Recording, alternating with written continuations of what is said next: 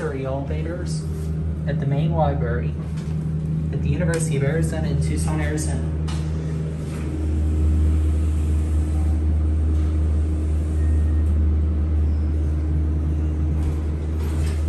Or one. I believe this used to be Montgomery GMP. ADA compliant phone. 80, ADA compliant phone. Let's go to five.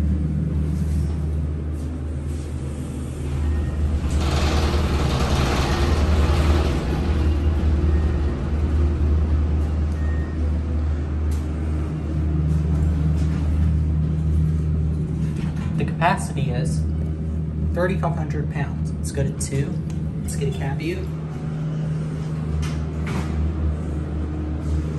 Kind of looks like a steel box.